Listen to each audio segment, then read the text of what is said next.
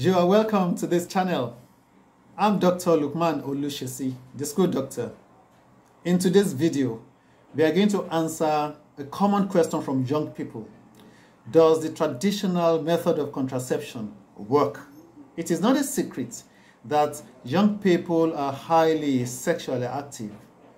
And it is peculiar to also know that young people want to have sex, they don't want to take pills or use any other conventional or modern form of contraception, and they also do not want to get pregnant. So, in this video, we are going to look at the traditional method of contraception, the natural method of contraception.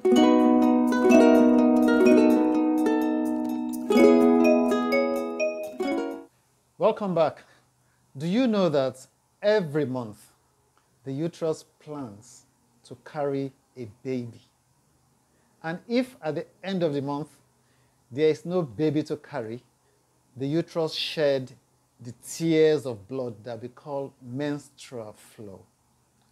Between when a young person begins to menstruate, that we call menarche, and the year the menstruation stops altogether at menopause.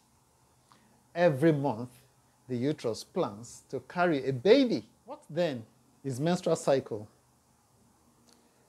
Menstrual cycle is the period between this menstruation and the next menstruation. The first day you see blood, that is the first day of your menstrual cycle. The duration of menstrual cycle varies from woman to woman. It could be as short as 21 days or as long as 35 to 40 days. If it is shorter than 21 days, it may need to be investigated. If it is longer than 40 days, it may need to be investigated.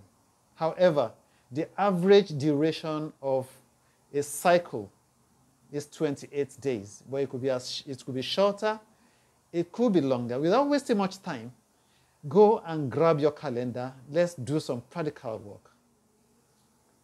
Now, we are going to make an assumption here. We are going to assume that we are dealing with a woman with a 30 day menstrual cycle. All right? So let us assume that this woman starts her menses on the 2nd of May. All right? So we count. Remember, the day you see blood is the first day of your menstrual cycle. All right? And in order to know the duration of your own menstrual cycle, you start counting from the first day you see blood to the next time when your menses come.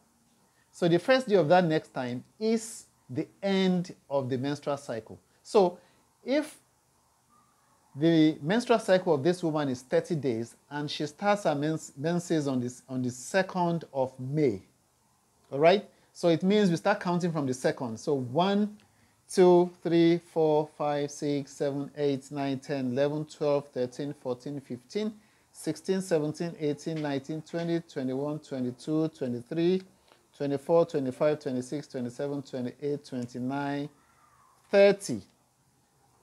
So she sees her next menses on the 31st of May.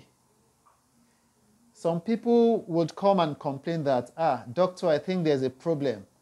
I, am, I, I, I have seen my menses twice in the same month. I think there's a problem. You do not have any problem here.